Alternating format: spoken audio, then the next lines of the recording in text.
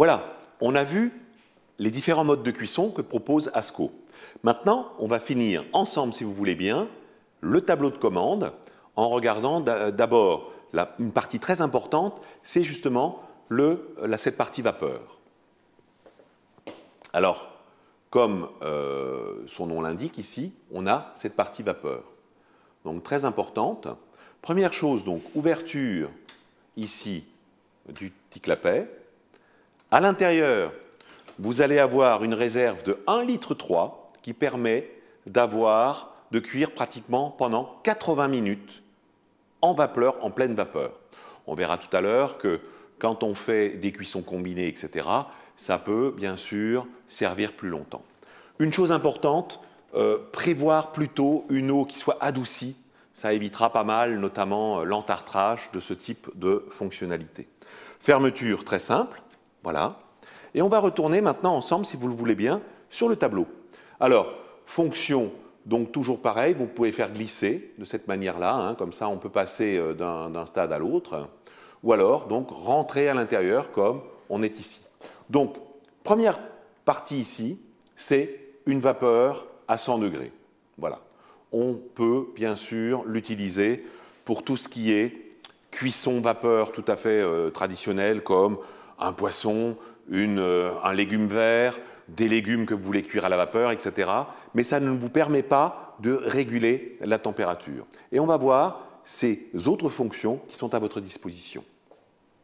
Vous avez donc ici cette partie à 5 degrés qui vont vous permettre justement donc de passer de 5 degrés en 5 degrés. Alors à voir quand même qu'on peut descendre jusqu'à 70 degrés, 65 degrés même, 60 degrés.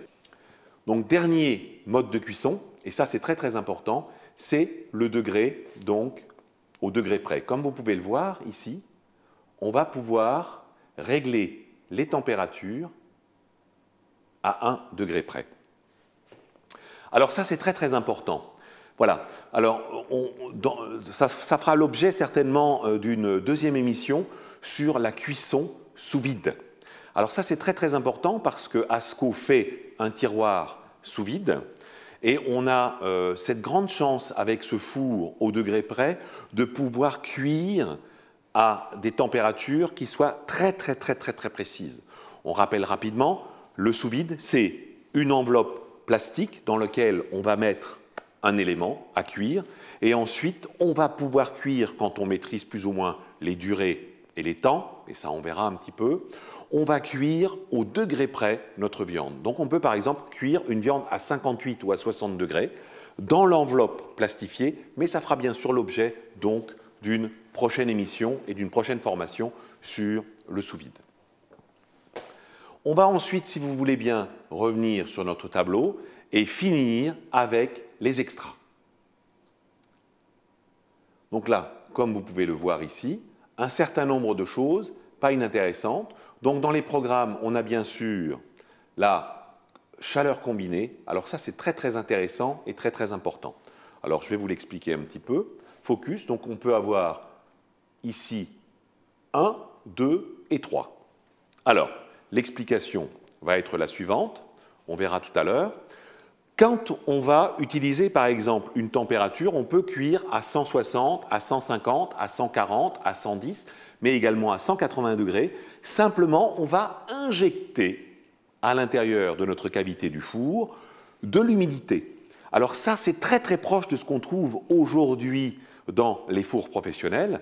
Ça veut dire qu'on a la possibilité, par le biais de ce tiroir à eau, d'injecter de l'humidité à l'intérieur. Donc quand on fait des cuissons de viande et qu'on veut garder une belle humidité, par exemple, dans notre viande, eh ben, on va pouvoir, par exemple, cuire, et là je vais revenir vous voir ici, on va avoir une injection d'humidité toutes les 6 minutes.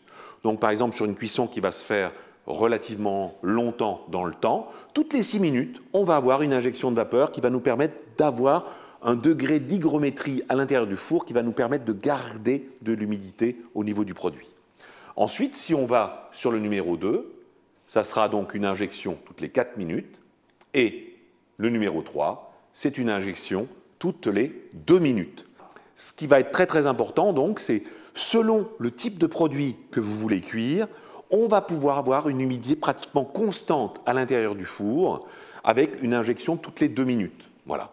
Donc c'est quand même pratique. Donc ça va de 2 à 6 minutes. Donc un produit qui n'a pas besoin de trop trop d'humidité, on va utiliser le numéro 1. Et on peut aller sur le numéro 3 pour quelque chose qui va nécessiter éventuellement beaucoup d'humidité à l'intérieur du four. Alors par exemple quand vous faites des croissants, quand vous faites du feuilletage, voilà ce type de produits qui ont besoin d'humidité pour pousser une pâte à choux de la même manière. Et ensuite, bien sûr, on peut passer sur un autre programme qui va vous permettre de dessécher le produit une fois qu'on aura obtenu ça.